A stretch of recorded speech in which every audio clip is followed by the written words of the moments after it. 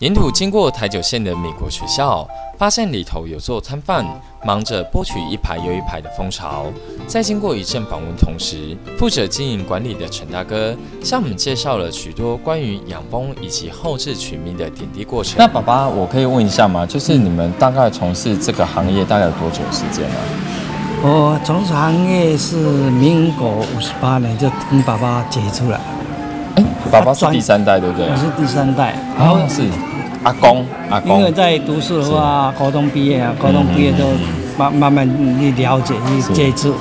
啊，专业的话是民国六十六十二年当兵回来就每天从事跟民用接触这样，真的哦、就是偶尔一帮忙而已，读书没办法。啊，有被叮得很惨吗？啊，对，当然被蜜蜂。让我看一下你的伤痕在哪里。伤痕没有啦，伤在上课的同时，我们也因应主人的热情邀约，当场品尝了几口平常所吃不到的人间极品。哎，可以可以吃看看。我要吃虫喽！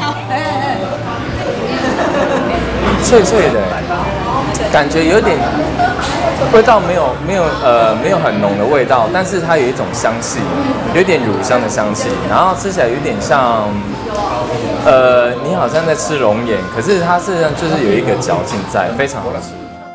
经过一阵了解后，我们也明白，原来经营养蜂事业从过程到成品出炉，还真的是非常不容易。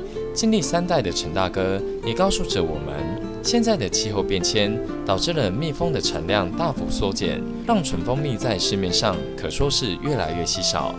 下次不妨经过此地的民众们，可以进去里头与这家人好好的聊一聊蜜蜂精吧。东台新闻综合报道。